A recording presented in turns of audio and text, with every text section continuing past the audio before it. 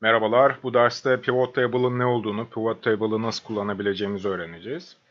Pivot Table, Excel'deki verilerin analiz edilmesine yarayan çok güçlü bir özelliktir. Düşey ara formülü ile birlikte mutlaka öğrenilmesi gereken iki konudan biridir. Şimdi elimizde böyle bir veri olduğunu varsayalım, böyle bir liste olduğunu varsayalım. Ki bu listeye nereden ulaşabiliyoruz? Bu videonun açıklama kısmındaki linkten ya da sabitlenmiş yorum satırı olarak ulaşabilirsiniz. Tıkladığınız zaman Pivot Table tablosunu bilgisayarınıza indirebilirsiniz buradan. Şimdi elimizde bir liste var. Sırano, ürün adları var. Ürünleri satan satıcılar var, satıcı adları. Bölgeler var, nerede satmışlar. Satış adetleri var. Müşteri ID'leri var, müşteri adları yok. Müşteri adları burada yazıyor. Bir sonraki dersimizde nasıl bağlay bağlayabileceğimizi göstereceğim. Ve satışların tarihi ve tutarları var. Şimdi Pivot Table'a başlayalım. İlk olarak herhangi bir listemizde herhangi bir yeri seçiyorum. Daha sonra ekle sekmesinden pivot table komutunu seçiyorum tablolar bölmesinde. Tıkladım. Nerede oluşturulsun diye bana soruyor. Yeni bir çalışma sayfasında. Burayı çoğunlukla değiştirmiyoruz. Sadece tamama tıklıyoruz. Tabloyu seçtik zaten. Otomatik olarak tamamını seçti. 100 satır. Ve yeni bir çalışma sayfasında oluştur diyoruz. Ve artık sayfa 1 adlı yeni bir çalışma sayfamızda oluşturulacak. Bunu pivot olarak değiştiriyorum sayfa adını. Ve pivot table'ımız oluşturuldu. Gördüğünüz gibi boş geldi. Pivot table 1 olarak pivot table adımız.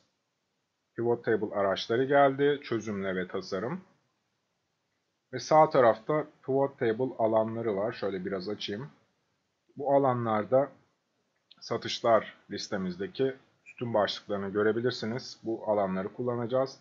Ve alt tarafta da bölmeler düzeltiyorum bölgeler var. Bölgelerde filtreler, sütunlar, satırlar ve değerli olmak üzere 4 temel pivot table bölgesi bulunmaktadır. Bunları da nasıl kullanabileceğimizi öğreneceğiz. Şimdi satıcıların ne kadar satış yaptığını öğrenelim. Örneğin Elif'in toplamda ne kadar satış tutarına sahip olduğunu öğrenelim. Tekrar pivot table tabloma geldim, sayfama geldim. Öncelikle satıcıya bir kez tıklıyorum kutucuğunu seçtim ve satırlara otomatik olarak geldi. Ki sol tarafta da alfabetik olarak tüm satıcı adlarının listelendiğini görebilirsiniz. Daha sonra tutarları istemiştim. Bir kez tıklıyorum ve değerlerde toplam tutar olarak geldi. Gördüğünüz gibi Ahmet 92.300 tutarında bir satış yapmış. Elif 105.800. Şimdi bunları daha önce görmüştük. Şöyle seçtim. Hepsini sağa tıkladım. Hücreleri biçimlendir diyorum. Ve Buradan sayıyı seçip ondalıklarını kaldırıp bin ayırıcısı kullan diyorum. Böylece daha rahat okuyabiliriz.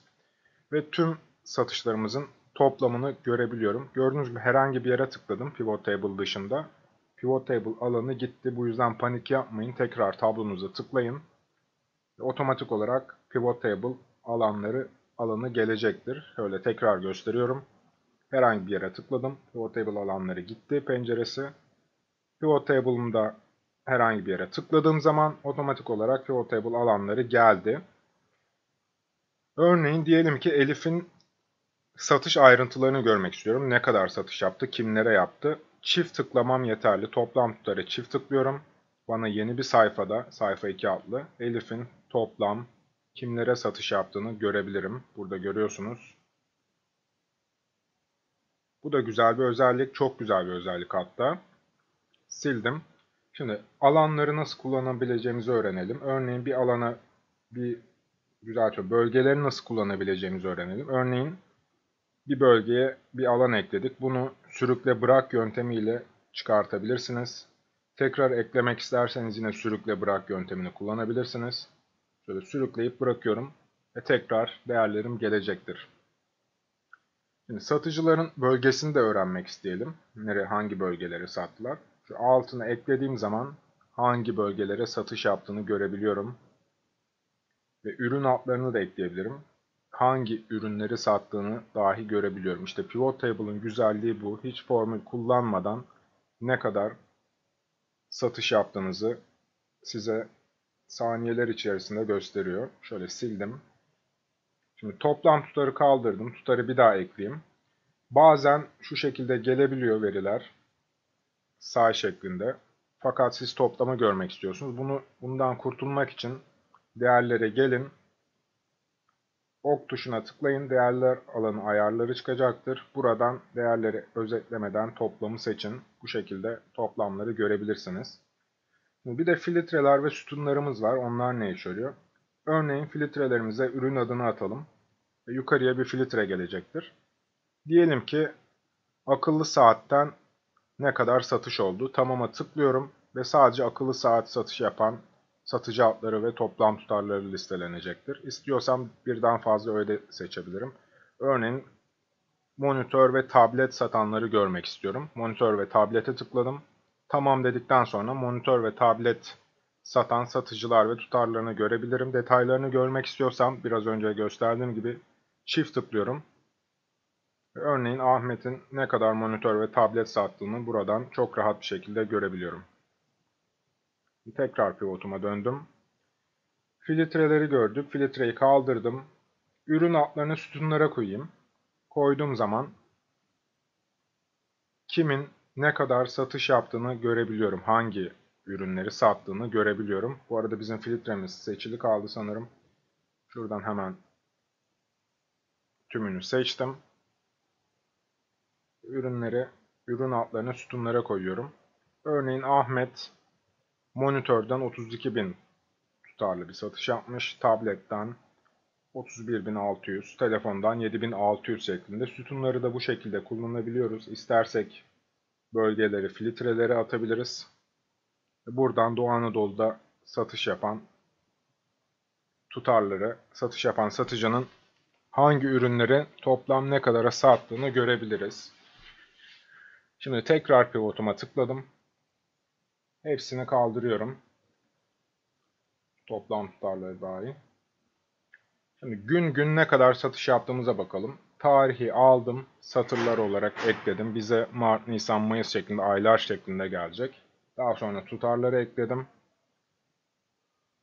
Ve gördüğünüz gibi Mart ayında 47.400, Nisan ayında 29.400 tutarında bir satış olmuş. Bu şekilde gidiyor. Fakat ben gün gün görmek istersem tarihlerin üzerine gelin, sağa tıklayın, grubu çöz deyin ve artık size gün gün ne kadar satış yapıldığını gösterecektir pivot table'ımız. Tekrar ay şeklinde görmek istiyorsam sağa tıklayın, gruplandır deyin ve ay olarak gruplandırın. Artık hangi aylarda ne kadar satış yaptığımızı görebiliriz.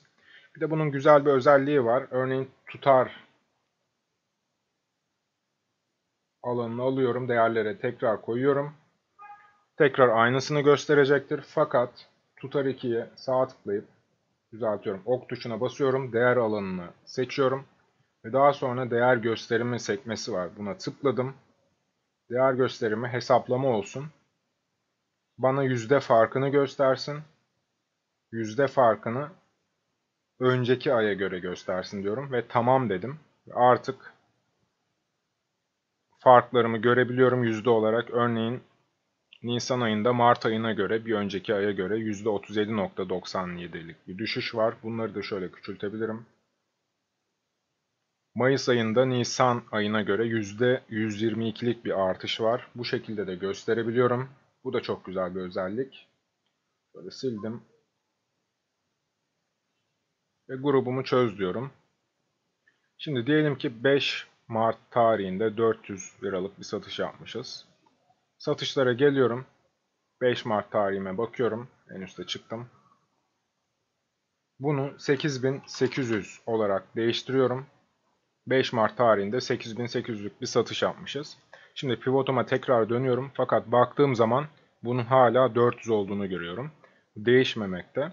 Bunu değiştirebilmek için Pivot Table araçların kısmında çözümle var. Çözümleden yenileye tıklamalıyım. Yenileye tıkladığım zaman otomatik olarak Pivot Table'ım da yenilenecektir. Gördüğünüz gibi Pivot Table kullanımı oldukça güzel. Şöyle sileyim. Şimdi bölgeleri biraz daha bakalım.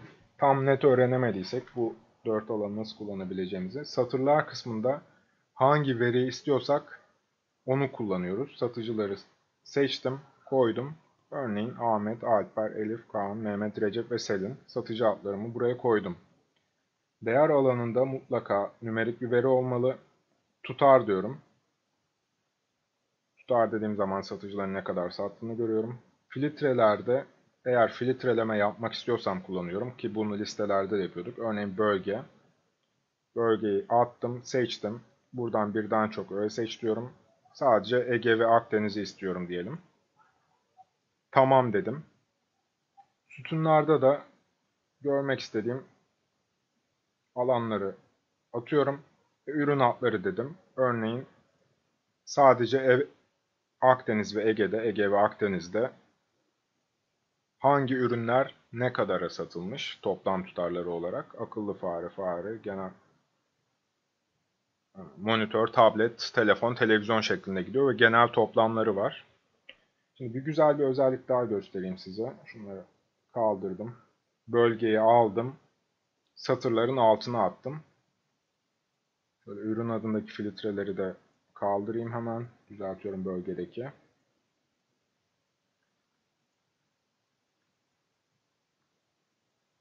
Tamam dedim. Ve bölgeyi satıcıların altına attım. Tutarı da attım.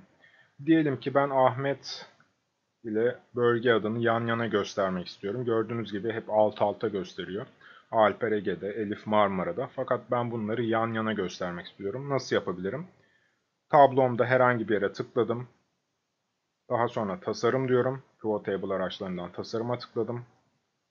Alt toplamları gösterme diyorum. Artık alt toplamlar gösterilmedi ve daha sonra rapor düzeninden sekmeler halinde göster diyorum. Artık yan yana görebilirim. Bunları kullanabilirim. Bu da çok güzel bir özellik. Bilginiz olsun. Pivot Table kullanıyorsanız bu özelliği de mutlaka bilin. Gördüğünüz gibi Pivot Table Excel'de bu şekilde kullanılmaktadır. Oldukça işimize yarar. Ve ara tekrar 3'te size bir Pivot Table sorusu vereceğim. Mutlaka onu yapın. Oldukça başarılı bir özellik.